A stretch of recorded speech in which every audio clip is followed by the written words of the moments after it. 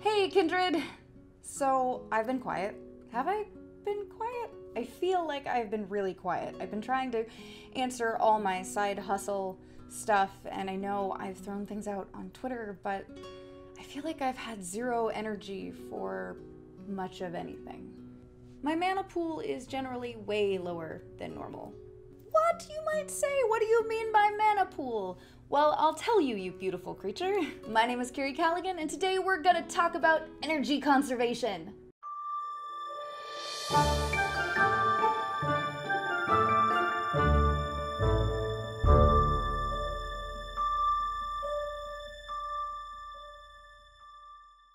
Before we jump in, the live stream went so, so great. I did not expect so much support. We raised over our goal for NAMI, NAMI, never quite sure how to say that. And we are uh, continuing throughout the month. So I've left the link below if you didn't have a chance to contribute and you still want to. Again, it's an amazing organization that provides mental health education for both people who are diagnosed and people who just want to learn more because it's really important to have neurotypical people understand how various atypical and neurodiverse brains work. They provide counseling and therapy for people who might not be able to afford it through normal procedures. They provide a free 24 hour helpline that has helped countless people. I'm sorry, I, um, this month has been very hard for me so far. Uh, and depression and anxiety and uh, a bunch of other things just really sap your energy.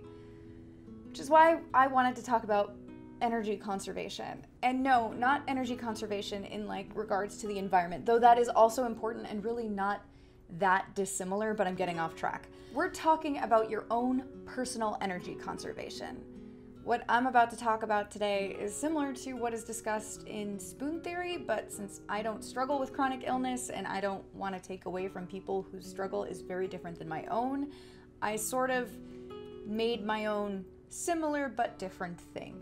We're giant nerds at the House of All Worlds, and I've been playing a lot of World of Warcraft with my family. Uh, it is actually very helpful for my father. Um, to keep him engaged with us as a family. Uh, if you don't know, he, he deals with FTD, but also it helps uh, his cognitive function. So, because I've been playing a lot of WoW with my family, it seems fair that I share this sort of perspective on energy conservation with you so you can put it in your own tool belt. I'm sorry, I'm very rambly right now. Because there does seem to be a misunderstanding in our world that if you're a healthy and able bodied personage, you have infinite energy. And that kindred is how we got unhealthy practices that lead to complete and total burnout. So let's start from the beginning.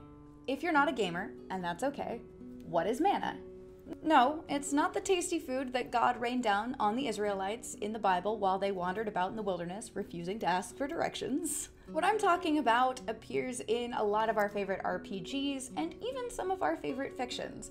Though, fun fact, in Melanesian and Polynesian culture, mana may refer to a supernatural force or power that may be ascribed to persons, spirits, or inanimate objects. And that's closer to what we're talking about, and I think that's kind of a cool. That's probably where they got it, to be honest. That was probably just stolen directly from those cultures. And now I'm sad.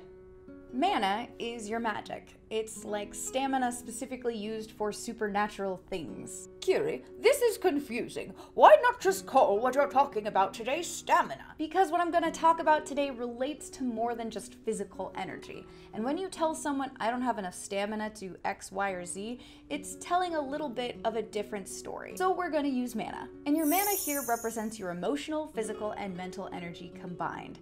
And the things you do throughout the day, those are spells. Each spell has a cast time, its own rules, or how often you can cast it, and every single one of those costs a certain amount of mana, regardless how negligible it may seem at first.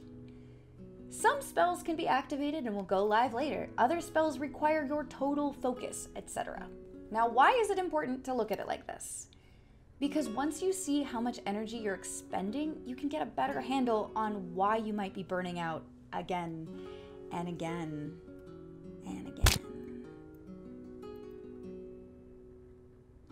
For example, we have 24 hours in the day and 168 hours in a week on this planet. For me, about seven of those daily hours are forfeit because of my required rest time in order to restore my mana pool. This number will vary from person to person, obviously, but six to seven seems to be pretty consistently what my body needs to go, okay, we're ready. There are other ways to refresh one's mana pool, and resting may not always be enough, but we'll get to that later. It's at least a start. Your body does need sleep. Point is, I'm looking at roughly 119 castable hours. I work a day job, so I'm at the office about 40 hours a week. It's probably closer to 44 or 45, but for simplicity's sake, we'll keep it at an even 40. While I'm at the office, for the most part, I'm casting a spell that requires my total attention. For multiple reasons, I cannot multicast, so to speak. So that makes it 79 castable hours. I also host trivia night at Alamo Drafthouse every Monday, which, with driving time, can take about six hours, and on normal week, have a staff meeting for LARP every Wednesday. That's another hour. So my average week has about 71 castable hours. Calculating on top of that things like showering, getting ready for the day, the gym, eating, basic chores, laundry, dishes, etc., etc. Let's say I have on average in a normal week 40 castable hours for creativity, socializing, or anything that doesn't fall into a typical day-to-day activity. This is probably being generous, but I'm trying to make a point without boring you with how nitty gritty I can be when it comes to data. So, on the average week, without any further complications or obligations, I have 40 hours. 40 hours. Out of the 119 I spend awake, I have only 40 maximum to focus on what I want to do versus what I have to do. Let that sink in a moment.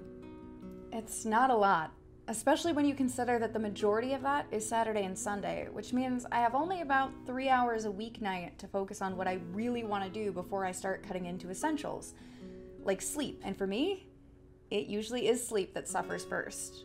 Then the gym suffers. Also, making my own dinner, which means getting takeout. And you can see how that stress and lack of sleep can domino into unhealthy practices for both your body and your wallet. And that's just a normal week. Do a little of your own math on what your castable hours are. Count in school, work, a rough estimate of how much chores you need to do. How many castable hours are you left with? Then consider if something happens like the death of a friend, health complications, work stress, you name it. You'll find those castable hours go down even further. Because when you're dealing with stress or depression, even though you might have the time, Suddenly, those things take so much more energy, and you might find yourself out of mana despite that you have hours in the day to cast or enough sleep. So, really take a hard and honest look at your mana and spell slots. They don't always match up. The reason I want you to sit down and really quantify your free time into something tangible is because the biggest part of managing your energy, time, and mana is being able to put into perspective how valuable it is. I have only three hours max of creativity free time a day during the work week, which means I'm very deliberate in how I spend it. I'm trying to finish the second installment of my book. This is, as you might imagine, a rather large undertaking. It's time consuming, and it's not something I can do while doing many other things. To pull a little from D&D, it takes both my major and my minor actions, requires my full focus. I have occasionally been able to go for a walk between chapters to clear my head and have taken notes or dictated them to my phone, but I've never actually written while walking. The day I manage to genuinely exercise while writing is the day I achieve some sort of life dream. Because of this, a lot of things have to take a lower priority. The first thing is usually my socializing. It's a sad truth, but writing is a solitary practice. Sometimes it's nice to sit in a coffee shop and be around other people, but you aren't really socializing.